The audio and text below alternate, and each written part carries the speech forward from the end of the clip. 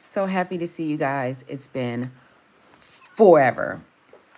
But I'm not going to keep you waiting because I actually have something to talk about today. But I hope all is well. Um, I have been, uh, you know, we're doing the year of the bride fast again every single day. We only have a few days left. So for those of you that are like, how can I join it? Don't worry about it. You're too late. But I will be doing it again, like at the end of this year. And so, um, you know, and for those of you that don't know who I am, I'm Tiphani. And uh, I have a ministry that God has gifted me with called Covered by God. And um, we fast. We're a fasting and praying ministry. And we fast the first three days of every single month for a few years now. And our fast is coming up on the first. So if you want to join the fast, please go to coveredbygod.co. Again, that is coveredbygod.co. Enter your name and email address. Check your spam folder because a lot of the times our emails land in your spam folder and join us there. Also, uh, I have a book on Amazon.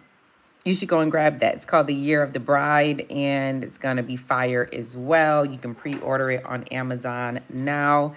And um, yeah, I'm excited about it. Why am I on live today? Now, first of all, I decided to take a little vacation after Millions Conference. And apparently, nobody thinks I should take a vacation, okay? Because y'all is like, where are you at? And ma'am, I was asleep, okay? Having a good time. But um, a few people asked me with the year of the bride fast, they're like, we're watching the same videos.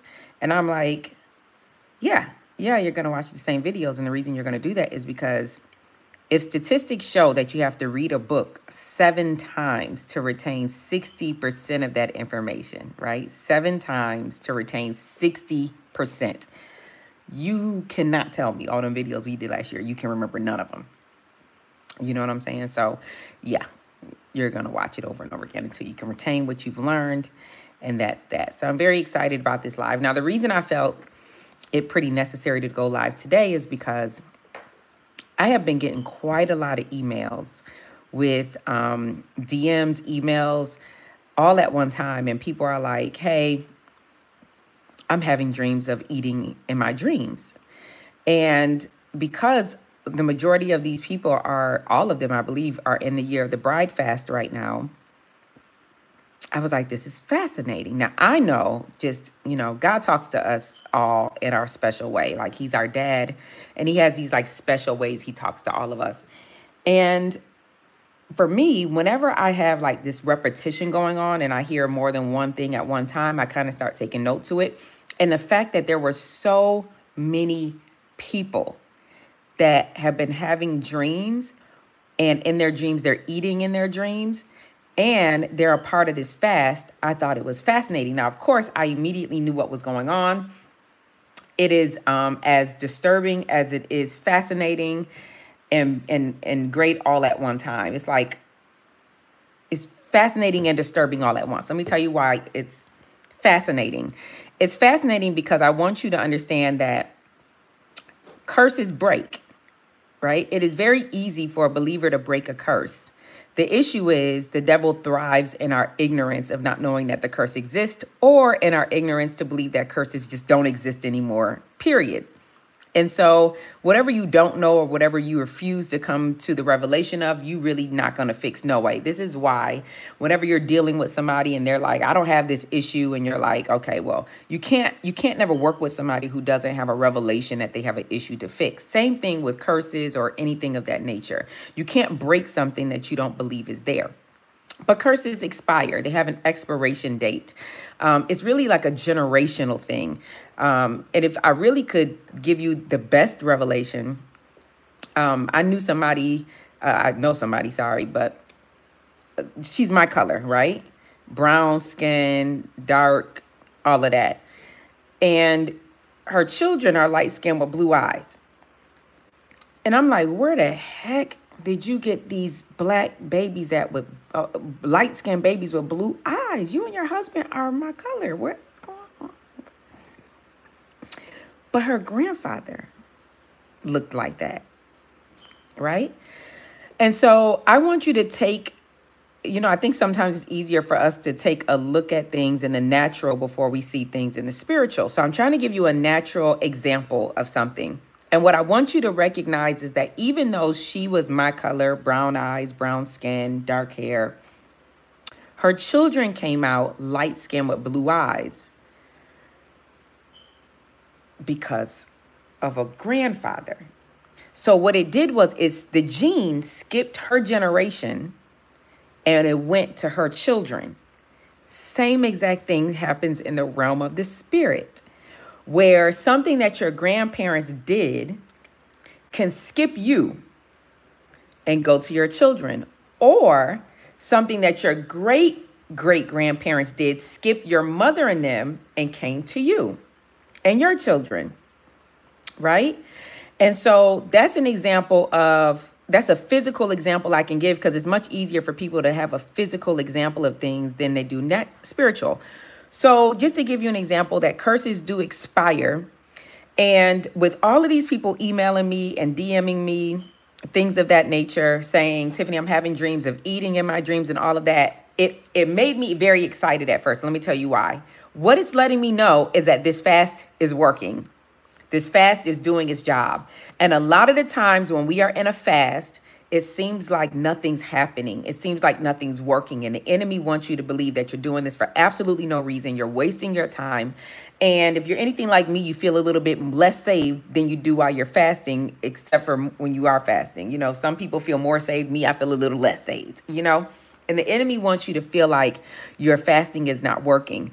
But what this is indication of is this fast is doing a dent to the kingdom of hell. It is literally causing wahala. It's causing problems. Do you understand me? And so why do I say that? There is evil covenants that's being broken all over the world, right? This fast, people aren't just doing this fast in the United States of America. People are doing this fast in Nigeria and Ghana and Israel and India. These people are doing this fast all over the entire world, Australia, Switzerland. We have people all over the world doing this fast, all on one accord, breaking evil covenants in the bloodline. Well, if you are having dreams of somebody eating, if you're somebody's feeding you in a dream or you're eating in a dream or somebody's trying to have sex with you in a dream while you're on this fast, let me let you know what's happening. The enemy is trying to get you to renew the covenant that you just spent your time breaking in prayer and fasting. It's just that simple. The enemy is like, oh, okay, this chick or this dude think that he finna break this fast, and I've been in this family for 15,000 generations as a familiar spirit because I'm familiar with the bloodline, and you think that you are going to be the one to break this curse? Uh-uh-uh. I'm going to catch you while you're sleeping. And so let me say this before we get into uh, the details, and I'll try my very best to keep this live as short as possible because I really want you to retain what I'm saying. And sometimes I get very excited because apparently I have a month worth of uh, revelation that I just want to spill out all over you. But um, for the sake of being able to retain what I'm talking about today and sticking on one topic, I'm going to just release this. But let me just say this. Many people think that all hell break loose during a fast, and it's true. All hell technically does break loose during a fast. Uh, a lot of people feel like they should just quit their fast and they should not do it again. But here's what I want you to understand a fast is not what many people think it is. Many people think that a fast is for God to become a genie for us. We rub on this little bottle, we tell God what we want, voila, voila, God is there and he gives us what he wants. That's not what a fast is for. The issue here is, is that according to the Bible, God has already given us power and authority to get what we want anyway, if it's according to his will, right? We actually have power and authority to speak to the elements. We have power and authority to make kingly decrees on the earth. We have power and authority to shift um, policies and government. Like the Bible is riddled with uh, history shows that governmental things have always been able to be changed through the power of prayer and fasting. So the issue isn't that we have the power. What fasting does is get rid of your unbelief to to stop to not be in your way, not thinking that that's the case. Unbelief, doubt, fear, pride, all of those things stop prayers from being answered. When you turn down your plate, doing the biblical definition of the word fast, doing the biblical definition, the biblical definition of a fast is abstain from all food for a certain period of time.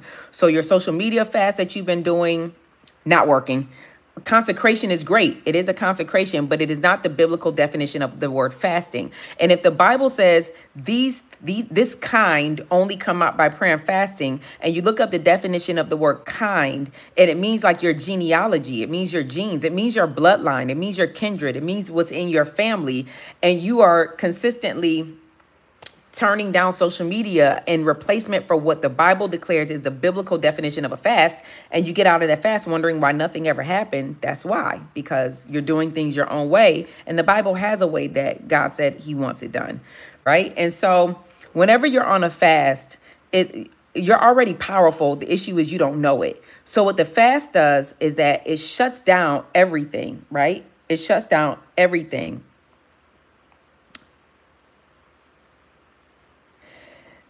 let me just say this before we get started, because I want y'all to have just some good decorum and some good chat ethics. If y'all see that I'm talking about fasting and God and stuff like that, why are you asking me business questions in here? Like, I don't, like, uh, obviously this live isn't for that. You know what I'm saying? Like, I'm trying to give y'all some Holy Ghost filled information that I just learned today. So I want you to just keep your mind and your thought on that. You know what I'm saying? And I want you to just um, focus on that for today. Because I know y'all got good, godly common sense. I know you have some decorum. I know you have good ethics, especially if you've been following me for a while. I know you got some good sense. So I'm just let, I'm just, um, let me just put that in there because I didn't want anybody to see that and just feel like they could start posting what they wanted to post as well. So put that in there. So you may start feeling like your fast is a waste of time. Most times when people start to fast, here's what the demon does, right? These demons are in you from way back when, not even your fault, let's say. These things are lying dormant in you, right? These things are lying way dormant. So you don't even see them. You don't see the spirit of lust. You don't see the spirit of perversion. You don't see the spirit of anger. You don't see the spirit of uh, slumber and laziness and you don't see the spirit of pride. You don't see um, the spirit of covetousness or jealousy or things of that nature, right? You don't see none of that. The second you decide to fast, all of a sudden you get horny. And you're like, I've never, why am I all of a sudden getting so horny? And I'm not even horny before I'm fasting. Why is this fast bringing out the worst in me? You, you won't believe how many people have emailed me with that issue you have people that all of a sudden the spirit of slumber comes upon them and they're like, I don't ever take naps during the day. And all of a sudden, I am just the napping, call me the nap star. Okay? I am just yawn. And it's only not not yawning for no wide awake while you scrolling on social media. Soon as you open up First Kings, all of a sudden the spirit of sleep comes upon you and you just knocked out, right? Doesn't happen before you're fasting though. Before you're fasting, you might be able to get through a couple of couple of chapters in the Bible. But while you're fasting, knocked out. You could be the nicest person on earth, and all of a sudden, you get to cussing everybody out. You like, man, I ain't cussed nobody out in about 10 years. Am I even still saved? Why am I a little less saved while I'm fasting? Isn't that a very strong spiritual practice? Why is the worst parts of me coming out while I'm fasting, right? I'm going to tell you why. What you're going through is called a healing crisis. It's called a healing crisis. Let me give you a um, let me give you an example in your body in, in the area of detoxing. Now, we know that if your body is full of sugar, full of trash, full of junk food, and all of a sudden you decided to detox your body, what's going to happen? A lot of people get very bad headaches, migraines, especially if you've been on ca caffeine, coffee, all of that for a while. Uh, a lot of people start getting body odor. A lot of people's faces break out in acne, pimples, um, very bad, very bad facial things. Some people's tongues turn white. Some people's breath smells awful. It's like death. Um, some people's bowel movements are bad. What I'm trying to say is these when you're fasting, which is a detox for your body, right? I'm giving you the the natural example of the spiritual example I'm gonna get back to in a second. But whenever you decide to go on a fast or detox your body, all of the disease, all of the all of the thing that was getting ready to kill you 5 years from now comes up to the top so that it can be dealt with.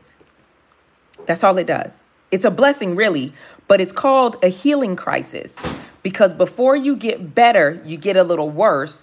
Because guess what? That thing, those diseases, that acne that flared up, the body odor that flared up, the massive headaches that you just got, all of those things were lying dormant in you so that it could manifest itself as cancer, as diabetes, as heart disease, as all of these things four to five to 10 years from now, 20 years from now. It was lying dormant. It did not want you to know it existed. It was trying its best to hide from you. Why? Because demonic activity works best when hidden. Demonic activity works best when hidden. Whenever you are fasting, what you are saying to God is, let there be light on the darkest places of my life that need to be healed right shine the light god on those places of my life that that don't bring you any glory that don't bring and so what god does is bringing it to light is he manifested through your body so that you see all of these ugly parts of you all of these things and you're like it looks like you're getting a little worse than you're getting better. But if you keep coasting through that healing crisis guess what? Your skin clears up the best it's ever looked in all of your life. That lump that came up that you thought you know, wasn't good, completely goes away. Blood sugar level, completely back to normal, regulated itself. Body odor, you can't even smell your underarms and you don't even wear deodorant anymore. You literally don't have body odor anymore. So the healing crisis really was just, what am I saying? I'm saying whenever you do a spiritual fast, the same thing happens in the realm of the spirit. So sometimes you have couples, husband and wife, that tend to fast and you're like, man, all hell broke loose. We got along much better than we did when we were fasting. But the truth is, it's called a healing crisis. And this thing between husband and wife was already lying dormant, waiting to explode at the most important part of your marriage and where it could not be um, mended back together again. So what God in his mercy did was he said, let me bring this to the top now so that you guys can see that it exists. And the second you see that it, it comes up to the top, you both have not just the knowledge, because the knowledge is that we have an issue that we didn't know was here. We now have the wisdom on what to do with it, which is we're going to war in prayer together because this thing right here that we see is not the problem you know, this is the problem. We're not the problem. This issue is the problem. And now we're going to not fight each other. We're going to now turn our heads together to the problem and go to war with the problem. Because most of the time, if you don't know, you're going to war with each other when you see the problem. But when you have a revelation that this is spiritual and this thing was coming to tear your marriage apart, you're going to say, you know what? Our problem is not each other. Let's go to the problem and start to attack and kill that. Okay. So whenever you're doing a spiritual fast, that's what's happening. I wanted to kind of bring some relief to those of you who are like, Tiphani, all hell is breaking loose. I'm not even sure if I'm doing this fast right. Maybe I need to quit and start again later. No. Even if you just got done cussing somebody out, baby, that thing was lying dormant in you and it was going to manifest itself out at a later time when you got when when when the when God platformed you or you got a promotion in some area or everything was going beautifully in your life, that thing was waiting to manifest itself at the most important time. This is why you see so many um, men and women of God you know, reach a certain height of success and all of a sudden fall due to sexual immorality, sexual perversion, infidelity, adultery. Why that why does that happen? Because that person does not have a a lifestyle of prayer and fasting. You don't go on a lifestyle of prayer and fasting for religious reasons because it's just a good godly thing to do. You do it because you want to go before God and just say, you know what, God, even though you're climbing me to the highest heights and you're promoting me to the uh, to the highest places, I still want to fast and turn my plate down and say, it is not by my works, God. I ain't even all that smart. I ain't gonna be on that. If you don't help me, if these people keep coming to cover by God and you're not there, what we gonna do? Because surely I'm not God. Everybody knows that because you say something stupid to me, I'm gonna say stupid, stupid. I'm not God. We need you, Lord. You see what I'm saying? Okay. So nothing's wrong with you. I just wanted to say that. Um, before we get into a few scriptures, let me say this. Number one, any of you that have a dreaming life, I get this email all the time. Tiphani, what books can I read on dreaming? Let me tell you something. Let me tell you something. Let me tell you something. Let me tell you something. You guys, this is a gen this is the most illiterate generation of biblical I can't say the most because the only generation I've been a part of. But my God, we are biblically illiterate. And the truth is, any of you that call yourself a believer that is not well versed in the word of God, you are in trouble. It's just that simple. You cannot you cannot sustain yourself with the proper weapon reading books. You cannot sustain yourself with the proper weapon following your favorite YouTubers and your favorite Instagrammers who are Christian influencers. You can't sustain your Christian life that way. You can't sustain the fighting the good fight of faith that way. You can't even pick up your sword without having that information. You have to understand that you have to know scriptures. And so, any of you that dream, any of you that have a dreaming life, and you are asking questions like, well, what's the best book to read on dreams? Or let me Google my dreams, you are already in trouble. You are already in big, big trouble. There is a spiritual war going on out here, if you guys didn't know it. And the realm of the spirit is much more real than even the natural world. At all times, even while you're asleep, they are fighting. Period. The enemy doesn't rest. Angels don't rest. It is a full out war out here, and you just snoring it away. What I want to do while God has given me this influence that I have, um, what I want to do is I want to bring a generation of people back to studying the word of God, back to fighting with scripture. And why do I feel like this is very important to do? One of my favorite movies to watch is World War Z. I'm a big zombie fan. And when they landed themselves in Israel, and that was like the only country that, you know, was still standing, he was like, Brad Pitt was like, why are you saving all these people? And he said, one less zombie out there is one less zombie we have to fight in here. So the more people I save, the less people I'm gonna have to fight. And I really feel like that's the case for our generation, right?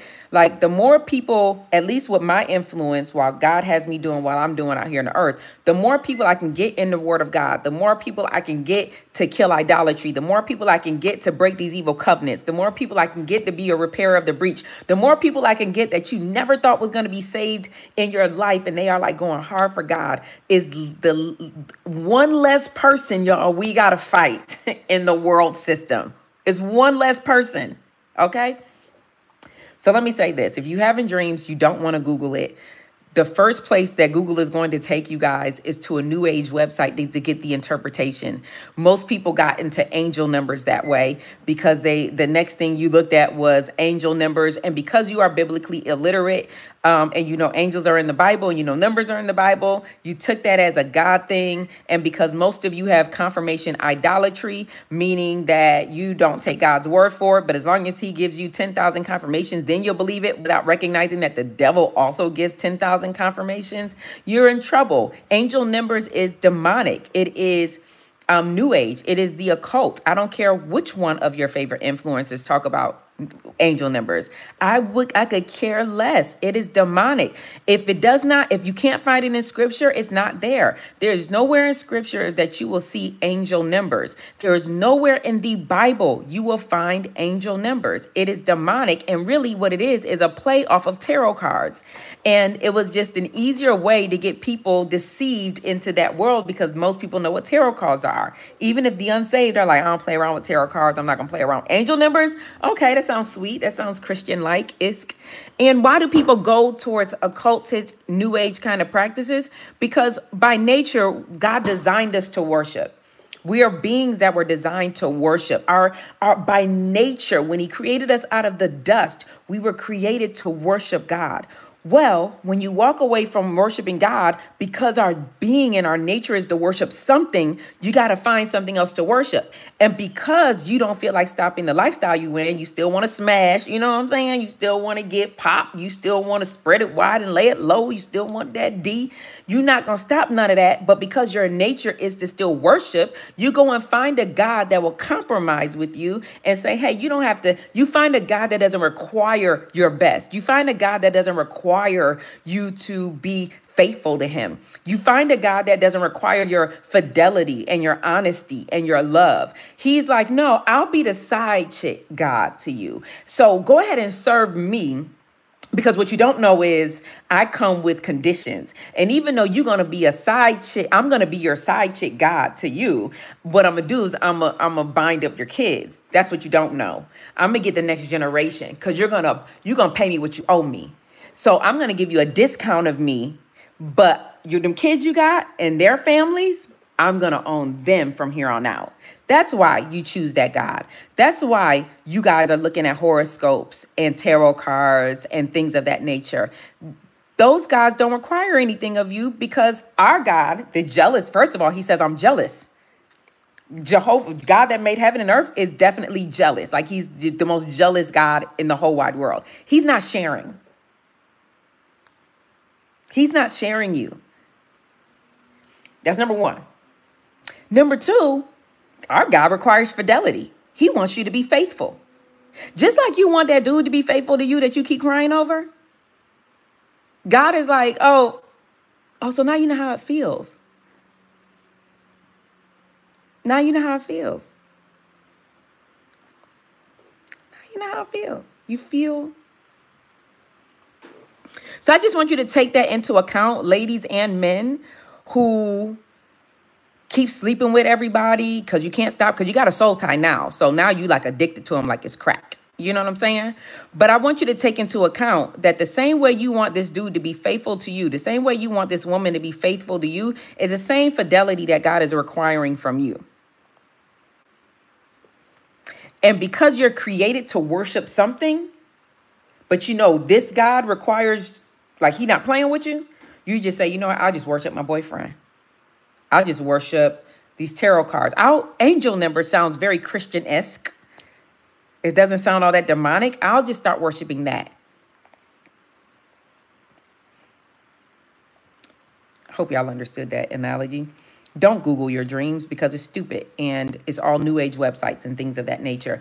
And to be honest with you, I don't want you to read no books on dreams. I don't want you to do it. I want you all, listen to me and listen to me deep. I want you all to grab the Bible. I want you to grab the Bible. And I want you to study everybody in the Bible that had a dream. Any of my dreamers on here, I want you to begin to study everybody in the Bible that had a dream before you pick up a book, before you, because here's the thing whenever you start reading books on stuff and you have not read the Word of God, you now can't even discern if the person you're learning from is telling you the truth or not. Do you know these people lie? These people lie. They have mixed New Age with the occult. And here y'all are listening to everything everybody's saying, trying to get an interpretation of a dream when it's only God that gives interpretations of dreams. It is only the Holy Ghost. So, what are we going to do as part of your homework assignment? You're not going to read any more books on dreams. Throw them in the trash for now. What you are, I don't care what the reputable author is. I don't care what author it is that is Holy Ghost filled. I don't care. What I want you to do is I want you to get your interpretation from scripture and scripture only. Get your interpret. I want you to go in the Bible and I want you to read every person in the Bible that has ever had a dream. I want you to see how the angel talked to them in a dream or how God talked to them in a dream. I want you to study this so that when you start reading books, which nothing is wrong with reading books, something is wrong with you reading books if you read books more than you study scripture. Because I'll give you an example. The Bible is your your full course meal, right? It's your it's your vegetable, it's your protein, it's your starch, it's your full course meal. The books you read is just your vitamin, it's your supplement, right? It's your multivitamin for the day. Because most of you don't like eating your full course meal for whatever reason, you go and get books. And so all of all you're doing all day long is eating vitamins all day. You know that you'll get sick doing that. As a matter of fact, most vitamins can't even be taken without food or you'll get nauseous. You understand? So most of you spiritually are nauseous. Most of you spiritually are sick because you have an unbalanced diet and the enemy has tricked you into thinking you're learning something because you have balanced your diet with reading more books than you have Bible. And now you just all over the place. You're nauseous in the realm of the spirit. You don't feel good. Your stomach hurt. And you're trying to figure out why you don't have a real appetite for the word of God. It's because your diet has been is sick. You're sick. And most of the time when you're sick in real life, you lose your appetite. Could it be you have lost your appetite for the word of God because you're spiritually sick? Just a question. You know what I'm saying? Holy Ghost first. Read your Bibles. This will not be a generation of people that is so well versed on what's going on on social media, what's going on, who died, who's living, who's sleeping with who, who got with who, what's good on TV, what movie need, and you don't know the word of God. Not doing it. Because what I'm not finna do, me, while God has given me this influence, I'm raising up warriors. Period. I'm raising up people who I'm not stronger than. I think I would have done you all a disservice while you are under my tutelage to still stand stronger than you all spiritually. To still stand when I hate when people say, Well, I'm praying, I'm not as strong as you in prayer. Why not? Y'all do know I'm regular. Not really, but you know what I'm saying. I'm like, very not regular, but just trying to like prove a point here. I'm regular, just like you. Okay? I get pissed off just like you. I'm in love just like you. I get hungry just like you. Why not? I'm not doing nothing different. I have to kill my flesh to not see what the latest is on social media just like you. So why not? What what makes me different? I just make a decision to pray. I make a decision. Y'all see what I'm saying? What am I trying to say? Holy Ghost first. So, first thing I want to show you in the Bible, we're going to go to Genesis chapter 15 very quickly. And the first thing I want to show you is that covenants can be made in dreams. This is, again, this live is I started to notice I got at least 15 to 20 emails. So it's pretty a lot for me to get an email about the same thing in a very, maybe a three day period. And these people were all saying, Tiphani, all of a sudden I'm eating in my dream. Somebody's trying to feed me something in my dream. Is something wrong with that? And because I know how God talks to me, because it was so many people in such a short amount of time, I knew that this was something that needed to be addressed. And it is both startling and exciting all at the same time. It is exciting because I know that this fast that we're currently on, this 25 day fast that's almost over, is very powerful. And you all have been effectively breaking evil covenants, breaking curses, breaking contracts that's been in the bloodline for a long time now. The startling thing about it is is that the enemy is like not letting you go and he's like in this dream let me go ahead and make them covenant themselves back to me again.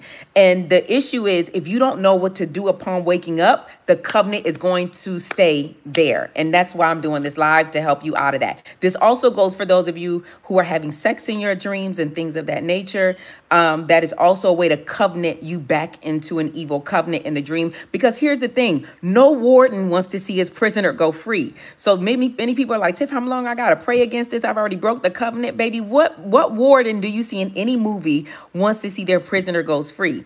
This demon has been on your bloodline for hundreds of years. It is not interested in watching you all of a sudden saying a cute prayer and letting you go forever at all. So you want to continue to war against this for your children, your children's children, your children's children, children, and things of that nature, so that when you've gone on to glory and the fifth generation from you is rising up, and there's a Deborah in that generation or a Joseph in that generation, there's a hedge of protection around them from something a praying grandmother did you five five generations ago.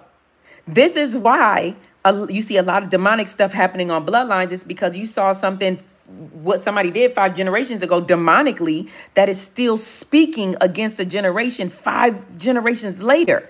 Well, guess what? After you pray for you, baby, you better get on that bloodline so that your children's children's children have a hedge around them. So no matter what stupid decision they make, it's like God is always yoking them back up. Like, no, I'm making, I'm keeping a promise I made to Tiphani.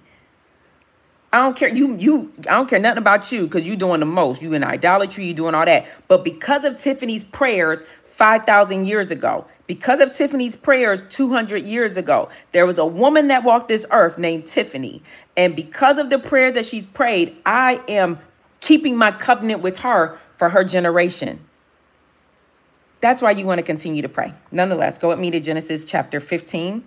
We're going to start in verse 12. The Bible says, And when the sun was going down, a deep sleep fell upon Abram. And lo and behold, a horror and great darkness fell upon him. So I want you to notice that this was while he was asleep. A deep sleep fell upon Abram.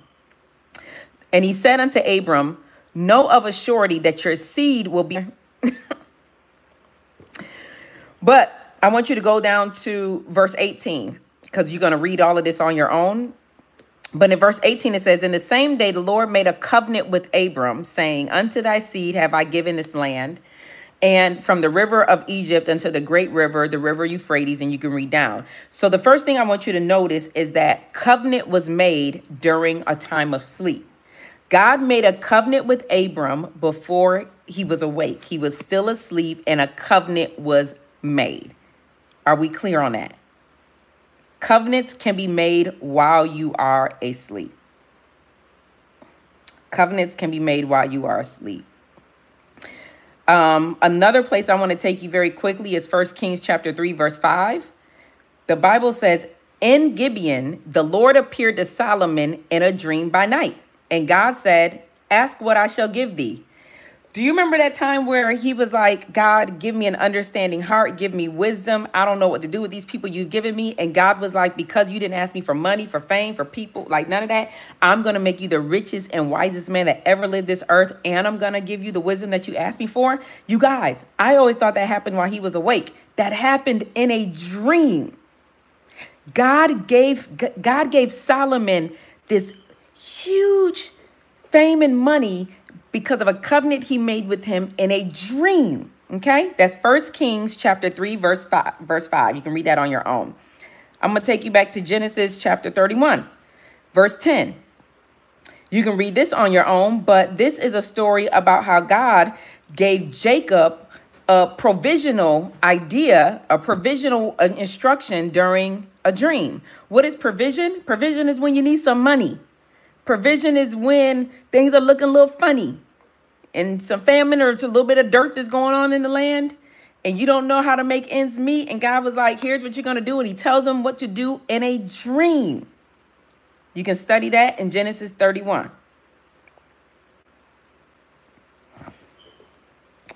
Before I go to my last point, my last scripture, I'm going to take you to Job 33 really quick because I think that this is powerful. Job 33 verses 14 says, For God speaketh once, yea, twice, yet man perceiveth it not. So while you're awake, God says something to you once or twice, and you still not getting it. You like, I don't know what this is. In a dream, in a vision of the night, when deep sleep falleth upon a man and slumberings upon a bed, then he opens the ears of men and seals their instructions so God is like, they not even listening, doing nothing I got to say while they awake. I'll wait till they're asleep. I'll open up their ears. I'll open up their ears and I'll seal their instructions in there. Why? That he may withdraw man from his purpose and hide pride from man, keeping back his soul from the pit, his life from perishing by the sword. You can read that on your own. I just think it's super powerful how God just even lets us know how this happens. Now, one of the definitions of the word instruction is discipline and correction. So he says, I speak once, twice, and the man doesn't perceive it. But in a dream and a vision of the night, while he's still asleep, I'm going to open up his ears and I'm going to seal the instruction. Or, in other words, I'm going to correct and bring discipline while they're asleep. Okay? Um, you'll find that when you look at Abram's first dream, there was instruction, there was discipline, there was correction, and then there was the promise. Now, um, this is the last scripture I'm going to give you before I'm going to tell you what to do when you wake up from those dreams of you eating in your dreams. But Genesis chapter 40, verse 8, and I want you to just take heed of this. It says, And they said unto him, This is when Joseph is in the jail. The butler and the baker have a dream. They wake up disturbed from these dreams. And he's asking them, why, why do you look so sad? What's going on? And they said, We've had a dream, but there is no interpreter of it. And Joseph said unto them, Do not interpretations belong to God? Any of you who have dreams, I want you to write that down on a notebook and just put it on your nightstand before you go to Google again, before you read a book, before anywhere. I want you to keep that in your mind, that sentence. Do not interpretations belong to God? Interpretations of dreams belong to God. Google is not God. Google is not God. If you wake up and upon waking up, the first place you went was to Google, you have made Google your God. If the first thing you did not do was get on your face and say, God, you are the interpreter of dreams. I believe I know what this dream means, or I have no idea. It's just so weird. What can you can you help me? Now, this instant, Joseph was and he was a dreamer, but he was also God had gifted him with interpretation. Now, dream interpretation is not a, classified as a gift in the Bible, just so we're clear. Dream interpretation is not classified as a gift in the Bible. I have not seen it. Okay? He then says, Tell me them, I pray you. So here's two things I want you to understand when you read this scripture. The it was a butler and a baker. I think it's very interesting that there's two B words, butler and baker. The butler has a dream, right? It's something that wouldn't have made sense to none of us. He says, Hey, there was a vine. There were three branches. It uh, the branches budded and her blossoms shot forth, and the clusters thereof brought forth grapes. The Pharaoh's cup was in my hand. I took the grapes, I pressed them into the Pharaoh's cup, and I gave the cup to the Pharaoh's hand. And Joseph said to him, This is the interpretation of that dream. The three branches mean three days. Within these three days, Pharaoh's going to lift your head up. He's going to restore you back to your place and all of that. It's going to be great. You know, he's and he's like, hey, while you up there, can you remind him that I'm down here and I didn't do what I was accused of doing? Right? So he gave him a, not just an interpretation of a dream, but he gave him a deadline of the dream. He said, this means in three days, you're going to be restored. But what I thought was powerful was that the, it was the baker's turn. And the Bible says in verse 16, when the chief baker saw that the interpretation was good, he said to Joseph, I also was in my dream and behold, I had three white baskets on the head. And in the uppermost basket, there was a manner of all baked meats uh, for Pharaoh. And the birds did eat them out of the baskets upon my head. Now, here's what I want y'all to think is powerful. Y'all, this, this whole live is about anybody during this fast that's been eating in a dream. I didn't even know. I have probably read this scripture a million times, it was I was yesterday years old when I realized that the person that got the judgment dream, there was eating in the dream. So you got the baker and the butler who have a dream. We just got done reading the butler, and the butler's dream interpretation was even though you're in jail with me right now, in three days, you're getting ready to be restored back to your rightful place. But the baker just had a dream. He's like, okay, that dream sounds very positive. Let me tell you my dream there was eating in his dream. There was eating in his dream. He said, The birds, eh, there was a basket, all manner of baked meats for the Pharaoh. And the birds ate them right out the basket upon my head. Now, if we're looking at this dream from our own natural eyes, we don't see nothing wrong with it, to be honest with you. What, what was wrong with this dream? There was nothing wrong with it from our own eyes. I don't see nothing wrong with it. He's a baker. There's baskets full of baked meats. The birds are eating them out of the basket upon his head. And here goes Joseph answered, This is the interpretation. Those baskets represent three days. And within those three days, Pharaoh's going to lift up your head from off of you. And you're going to hang on a tree.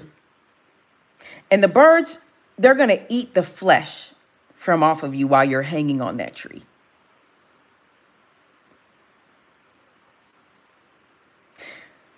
And as you read in three days, Verse 21, he restored the chief butler. And in verse 22, he hanged the chief baker as Joseph had interpreted to them. One dream was restoration, another dream was judgment. Okay, so if you find yourself during a fast eating in a dream or having sex in a dream, I want you to know number one, immediately, I want you to know that there is a demon trying to renew a covenant with you. There is a renewal of an evil covenant that they're trying to renew with you. You may say, Tiphani, this thing keeps coming back. How long am I supposed to do it until you don't have a dream no more? This is not a question of the spiritual world doesn't go off of your tiredness. The spiritual world doesn't go off of your, you know, I'm done. How much longer I got to do this? They're hoping that you quit today, actually. It could care less how tired or fed up or frustrated. You know, this world is, is ancient. Like, you're like, how old? 32, 35, 55, 62? This thing has been around for since the beginning of time. It's ancient. It's way older than you. Doesn't care how tired you are. So I'll give you an example. I remember I used to have dreams of my old house. Anytime you have a dream about your old house, childhood house, anything of that nature, it's never good. It speaks of a spirit of delay. This is years ago. It speaks of a spirit of delay. And I remember I kept just saying, at first I just didn't know why I was having the dreams. And so you end up going, you know, uh, you end up going for, you know, years and not knowing why you're having this dream, not even praying on it until you get a revelation and saying, oh, shoot, this represents delay and you wake up and you begin to war against being in that old childhood house. Well, then the dreams went from having them once a month to having them once a year. And then, but I would still wake up mad and saying, I'm not supposed to be having these dreams at all. So I would go on a fast, three day fast, seven day fast, maybe a one day fast, and go to war against that. And I just never have had it again in my life. So when do you stop? You stop when the dreams stop coming. Now, here's one thing I want you to recognize. You know, when the Bible says like our kingdom come, our will be done on earth as it already is in heaven, I want you to realize what that really meant. It meant that in heaven right now, things are brewing. There's plans and plots against you that's happening right now. They're happening and it hasn't made it to heaven to earth yet. On earth as it already is in heaven. It's already here. It hasn't made it here yet because you belong to God, if you are a born again believer, because there's a difference between a psychic and a prophet, right? A, both of us can see. That's why they're accurate. That's why people get so blown away at the accuracy of somebody that works in the dark arts. They can see. The issue is they can't change what they saw in the realm of the spirit. And as a born again believer, we can. And so whenever you see something in a dream, most of you think they're nightmares, and sometimes they are, but it's still the enemy letting you in on what the plan is. It's already brewing. God is showing you what is brewing in the in, on in heaven before it gets to earth. That way, before it gets here, you wake up and saying, God, thank you. Even if it was a bad dream, thank you for letting me know of this secret intel. Thank you for letting me know what the enemy had planned for me. And if it's already being scheduled up there, the Bible says no weapon formed against me shall prosper. That thing I saw in my dream is already formed. In the name of Jesus Christ, I command it to deform itself now. I command there to be a divine dissolving of that plot and plan of the enemy in the name of Jesus Christ. I command it to be destroyed. I want you to look up the definition of the word formed. I want you to look up the synonyms of the word formed. I want you to look up the antonyms, which is the opposite of the word formed, baby, and use that in your prayer points. Okay? Anything that is formed needs to be, uh, one of the antonyms is dissolved. It means disorganized. One of the words formed mean this is something that is organized. This is something that is well put together. In the name of Jesus, I command a disorganization of whatever thought it was going to form against me. Your word said it can't do it. Your word said, God, nothing formed against me can prosper. The Bible says this is my inheritance. It, I have an inheritance for being your servant. One of those things is that this thing has to deform itself. And you're going to be specific. Some of you are having dreams of your children in accidents. Some of you are having dreams of you in accidents. Some of you are having dreams of sicknesses or premature death. Guess what? God in his mercy is showing you this, what the enemy has planned and plotted for you And you want to wake up immediately and come against it. You want to wake up immediately and break the covenant, right?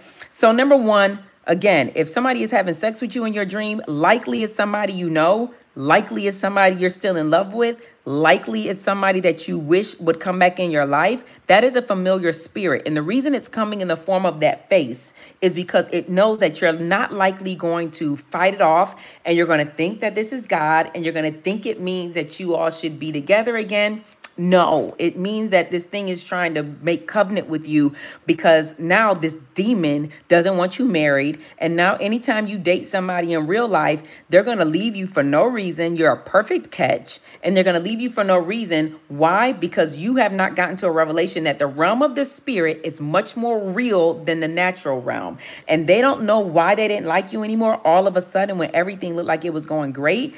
But that that that demon spirit now that has been having sex with you in your dreams are like that's my that's that's me. You think i'm gonna get that up? Nah because i had her mama i had her grandmama i had a few of her uncles i had a few of her grandfathers. And i'm not gonna let her go. I have a good time with her in her dream. She wakes up wet she wakes up aroused. As a matter of fact, when she wakes up, when he wakes up, he has to relieve himself. She has to relieve himself, which now that's how that's how you know how real dreams are. You, somebody was having sex with you in your dream, and when you wake up, you have to finish it off to have your orgasm. That's that's to let you know how real that demon was in your dream. That has now married you. That's what happened. Covenants are also made through food, through eating. That's why they're trying to come in your dead grandmother, the one you really loved, Big Mama. I don't know what you call your grandma, but the one you really love. And you say, well, she gave me some good wisdom. Baby, it was a demon. It was a demon. She's not talking to you. The Bible says that the dead don't know what the living are doing. That's what scripture says. They're not alive. What happened was the demon came in the face of your grandmother or mother or father um, or your favorite person that died that you really want to see again because you're dealing with demonic grief at this point. They came as the face of this person because they knew that you would not wake up and cast it out. That's what happened. The Bible says, not Tiphani says, the Bible says that the dead don't know what the living are doing. That's what the Bible says. Don't ask me no more questions about dead people talking to you in your dream. I'm only telling, I don't have to live your life. So if you like chatting it up with the dead in your dream, have at it. You are talking to a demon. Ain't no need to go back and forth with me about this. I could care less. Okay. But what I am telling you is you're not talking to that relative. You're talking to a demon because the Bible says that the dead do not know what the living are doing. Tiphani didn't say that. The Bible says that the dead don't know what the living are doing. They should not be coming back to saying anything to you in a dream. You have the Holy Spirit. Okay. So we know that covenants can be made in dreams.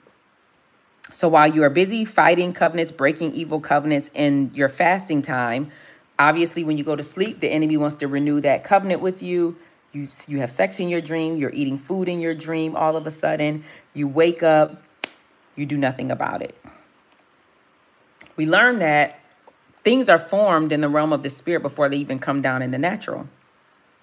A lot of the times when y'all say things like, I had a dream about that and it happened, that's not necessarily a good thing because a lot of the times, not in all cases, but a lot of the times, we can stop that in the realm of the spirit through intercession. Okay? So, what do you do when you wake up from a sex dream, from an eating dream? Immediately upon waking up, you want to get on your face and you want to begin to renounce the dream. Father, in the name of Jesus Christ, I had a dream of eating in a dream, and I have been vehemently fasting and praying that these evil covenants are broken. First of all, I repent for any door that was open in my life that would have caused um, me to be able to have uh, eat any dream, uh, uh, whatever I did, whatever door that was open for me or my ancestors, I repent. It doesn't hurt to repent, right? We should be living a lifestyle of repentance anyway. The second thing you do after you repent is you now renounce it. Father, in the name of Jesus Christ, I renounce, I come out of agreement with, I break myself from, I denounce every evil covenant that I came into in my dream. Every any food that I ate, God, that brought me back into an evil covenant any sex that I had in my dream that brought me back into an evil covenant, I renounce myself from it. I denounce myself from it. I divorce myself from it. Let heaven and earth record this day that I am not covenanted with the devil. I don't, I have nothing to do with the devil. I don't, I don't, I don't, he has, I have nothing to give him. I don't owe him anything. I am, and then the third thing you want to do is replace. Re we re repent, renounce, and replace. Repent, renounce, replace. What does replace look like? Father, I now, as an act of my will, out of my mouth, make a public declaration in the realm of the spirit and in the natural to declare that I am covenanted with you. I am a part of the new covenant of Jesus Christ, the better covenant.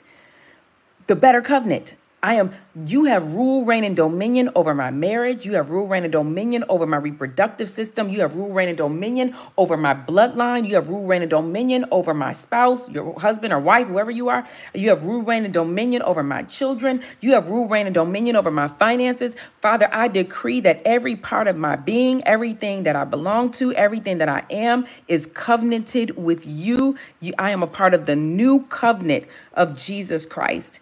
I owe the devil nothing. I am no longer in covenant with him and I break it now. And then if I were you, I would pray in the Holy Ghost and even turn down my plate, right? I would fast, even if just for the day, depending on what kind of dream you had. And baby, I'm turning down my plate for the day and I'm warring in the spirit. And one thing I'm going to do on a regular basis, Papa, come here. One thing I'm going to do on a regular basis, me, I'm going to repeat the word of God over and over again. I do that. The Bible says, um, meditate on the word day and night. One of the definitions of that word meditate, you can find that in Joshua chapter 1, I think it's verse 8. Meditate, hand me my purse right here. Meditate on the word day and night. Meditate means roar, but it also means to mutter and murmur and say over and over again. It also means to imagine. So if I wake up to a dream like that, what am I going to do? I'm going to like begin to um, murmur and I'm going to start saying the scripture over and over again. And I have a clicker. Really? Yeah. Me, just because, why not? So I'm going to wake up, right? And I'm going to be like, no weapon formed against me shall prosper. No weapon. I'm not even leaving my room till I got a hundred of them.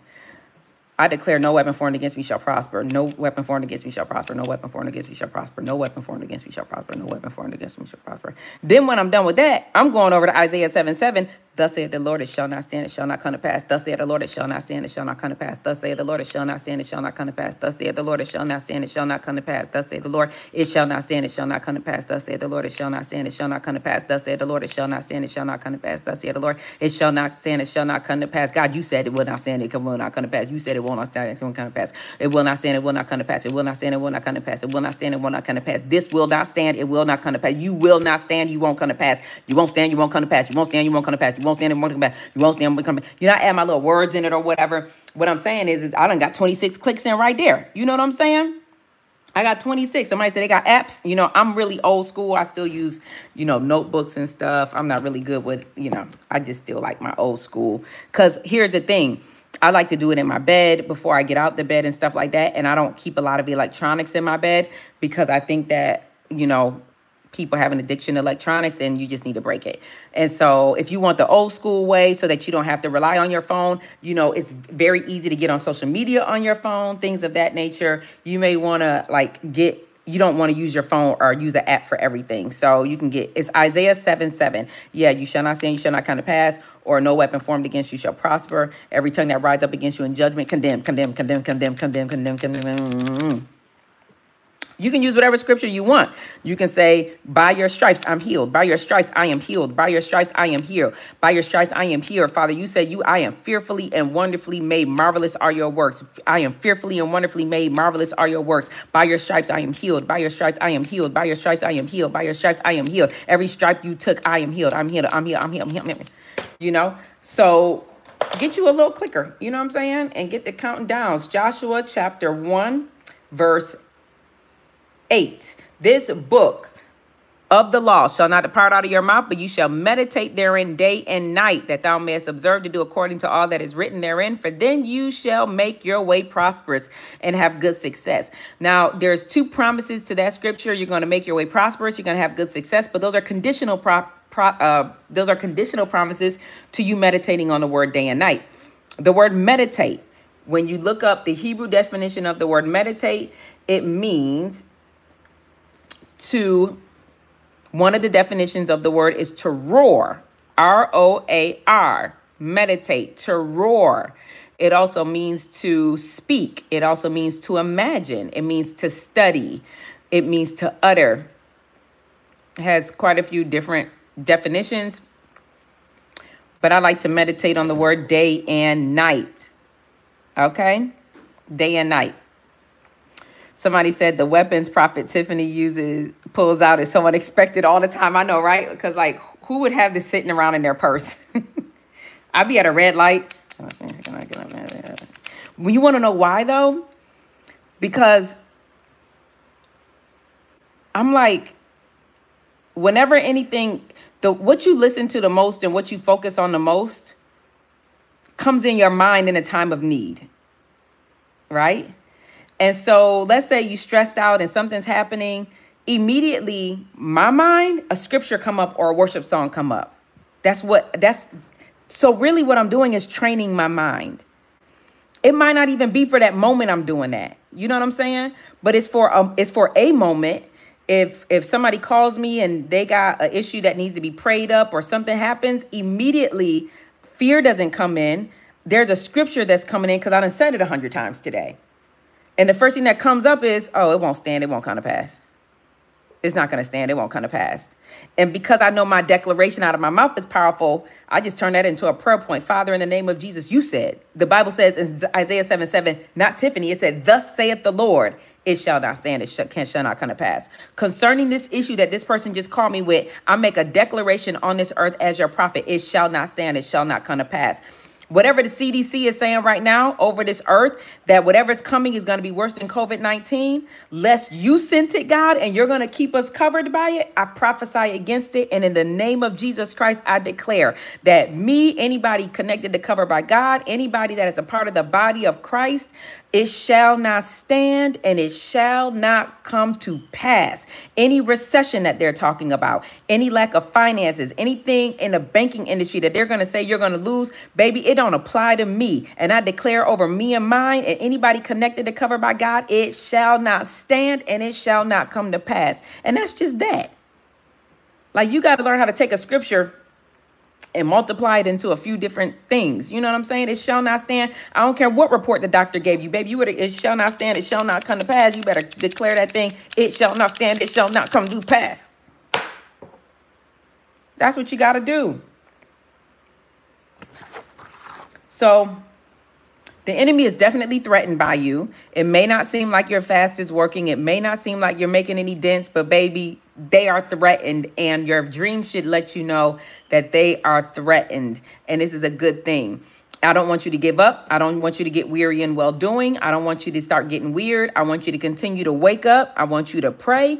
I want you to war against it. And then when you're done with that, forget about it and just start worshiping. Get it out your mind. Start focusing on God. Say, you know what, God, I believe that you've heard me. And I thank you that this is happening. And if you go to sleep and a dream come back again, wake up, say, I already dealt with this, but I renounce it again in the name of Jesus Christ.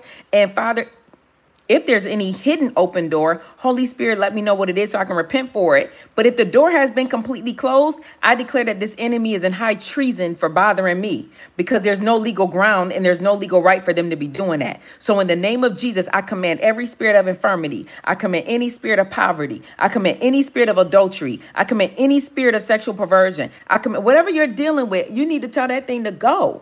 Like these things don't have legal right. And the only thing is still harassing you is because you have not stood up in your authority to tell it to go. It has to by law, by spiritual law. It has to by law. Listen to you. Somebody says, What should a person do if their parent or somebody in their bloodline is currently practicing idolatry and you're fighting against it? Baby, you focus on you. You you repent on behalf of you and your ancestors who are dead. You focus on you and your children. That's all. You focus on you and your children. You focus on you and your children. You ask God, you know, you bind up whatever they got going on so it's not operative on the bloodline anymore. You have the power to do that. You can bind up their works and begin to pray about that. Somebody says, wait, so why does Reverend James Solomon talk about dreams in his book? Mia, were you here for this whole live today? Were you here for the live? Or are you just hopping in?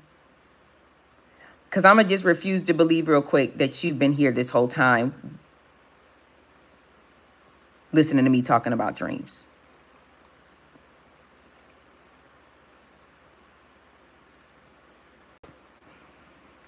I'm going to just...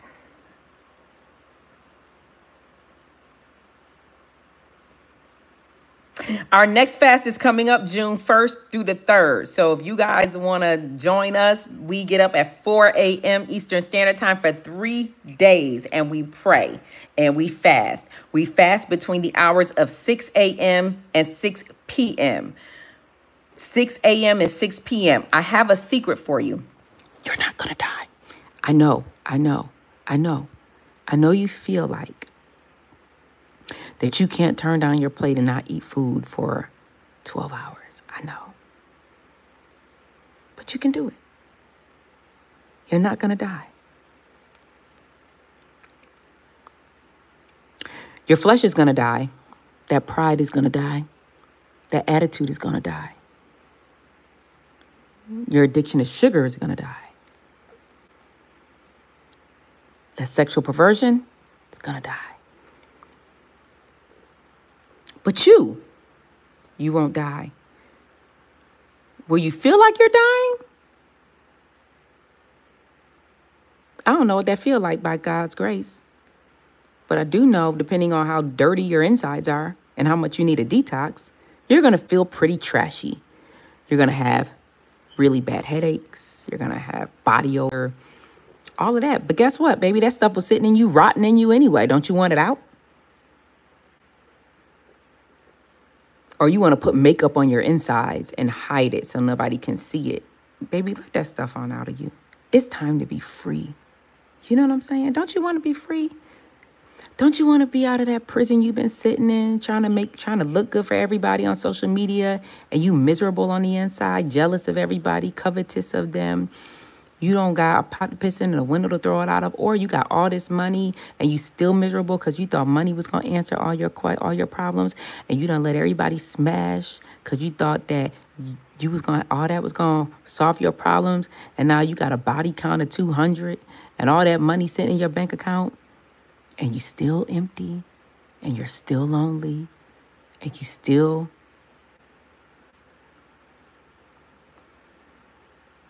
Somebody said, move back. I can't because y'all don't hear me when I move back. You know what I'm saying? When I move back, you don't hear me. So I just wanted to say this up close. If you want to fast with us, you're going to fast.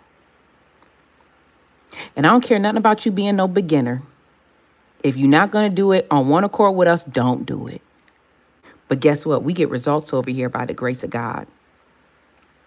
So if you want to join a fast, go to coveredbygod.co. Again, that is coveredbygod.co. Go ahead and enter your email address. Check your spam folder. We start on June 1st. Now, let me give you the instructions. We're not eating them between the hours of 6 a.m. to 6 p.m., but what you will eat is the Word of God. You're going to eat some Bible. Most of y'all little chubby anyway. You got enough food reserved in you not to have eaten for seven days straight. Let's let's just be honest.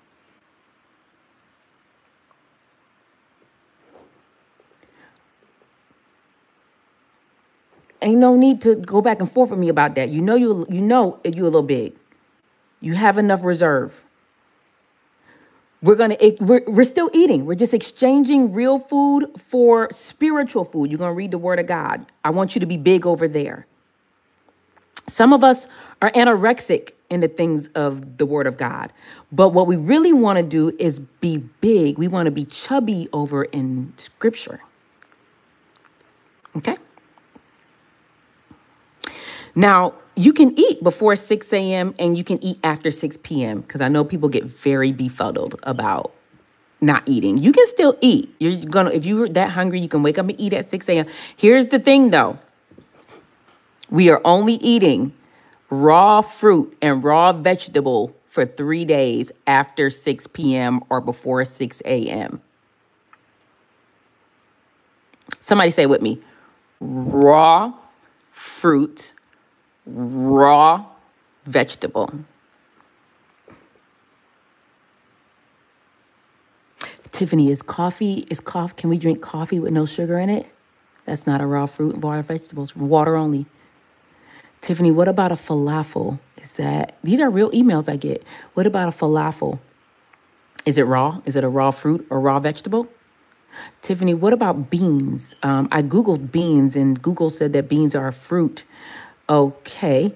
Uh, let's say I went with you on that. You would still have to eat it raw. And according to your God, Google, you would be poisoned to death because you can't eat raw beans because they're poisonous. So, guess that doesn't count either. Um, Tiphani, what about um, raw, raw fruit, raw vegetable, only for three days, you guys. Only for three days. Only for three. You can make you three big salads for three days. No ranch dressing. The only thing that's approved is Newman's olive oil and vinegar. But you'll get all this in an email. Okay? You'll get all of this in an email. Raw fruits and vegetables raw if you want to go to get email go sign up for the emails your answers are there. Now this is not your time to get crafty on google to find out what raw is or raw not. Go and just make you some salads and eat that. Don't be cute. We're just drinking regular water regular water regular regular spring water regular water. No coconut water regular water. Unless you're drinking your coconut water straight from the coconut regular water. Regular water regular water. Regular water. If you're going to do smoothies, just eat raw fruit and drink regular water. And if you're going to order your smoothie, which most people do, make sure you order it without the turbinado in it and order it without sugar in it because y'all y'all smoothies have tons of sugar in it. What's the point? Nonetheless, that is our fast. More importantly than us focusing on the physical food that we can and can't eat, no smoothies don't count. Water only. But instead of focusing on the food that we can and can't eat, you guys, we will just only be focusing. Tea doesn't, it's no water only. Water, regular water, water, water, water, just regular water, just regular water, water, water. Somebody say it with me water. Can I get like a hundred of you to put that in the comments? Water, water, not tea, water, not smoothies, water, water, water, water, just water, just water, only water, just water. If it's called tea, that means it's not just plain water. If you got to put something in it, it's not plain water. Just, just regular water, just regular water. Tea with honey, not water. Just, just regular water, just water. Somebody say with me, water. Just you want me to come closer to the water. Just water. I told y'all when I step back, y'all don't listen to me. I should have sat that up close to the thing to the thing because when I when I step back back here, you don't listen to me no more. When I come close to the thing, y'all ain't got no more questions. You know what I'm saying? I should have came up close when I said water. It's just water. It's just water. Now, on occasion, I'll be starting to think demons be talking through you sometimes because these instructions aren't hard raw fruit and vegetables. You can make you a raw salad. You know, raw means not lightly steamed. Raw means not lightly baked. Raw means not not cooked at all. Raw means raw, like raw. Raw. Water only. Water only. This is for our three day fast that we do all the time first three days of every single month. Um,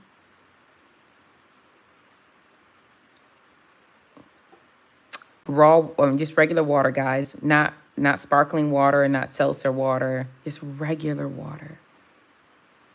Just three days. It's just three days. It's just three days. Just a regular water.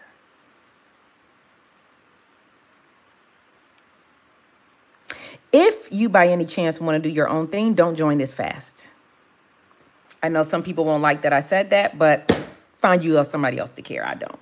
Uh, I believe that we will see a move of God like we've never seen before that he did in the book of Acts when we all move on one accord. Uh, I believe that a lot of people are just rebellious and full of pride and they want to do their own thing.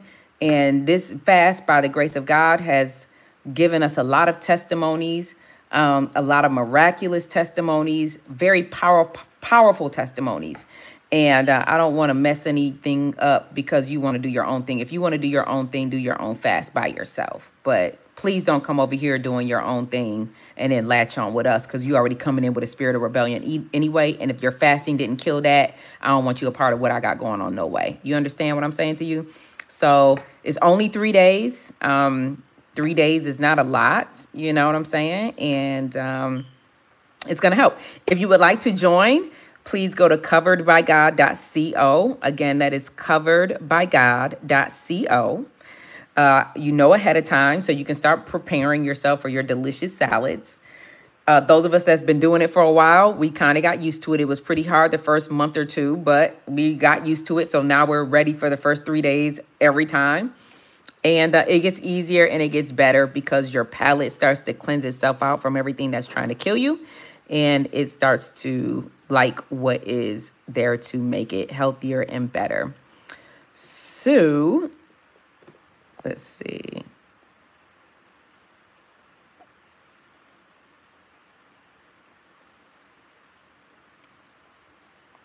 Okay, guys, I think that's it for today. Um, okay, thank you for uh, saying that. She said, I have some people asking, is it too late to join the Year of the Bride fast? It ends on the 25th. So, oh shoot, not the 25th. It ends on the 31st. So you can still join. I mean, once you sign up to get the emails, you're going to get the emails for the Year of the Bride fast at 1 o'clock in the morning anyway, because you're just a part of the list now. Um, but you won't start at day one. I will be redoing the fast um, later this year, so you can join it again then. But it's too late, obviously, to start at day one. But you, you'll still be getting the email at 1 o'clock in the morning when you join the email list anyway. So yeah, it's going to be great. I love you guys to life. I think that is all the instructions I have for now. I will be announcing to you when the next Covered by God is, which is in June. So excited about that. I have taken a well-needed break and um, I'm excited about that. I'm excited. I'm excited. I'm excited. I'm excited. So that is all. All right. I love you guys to life.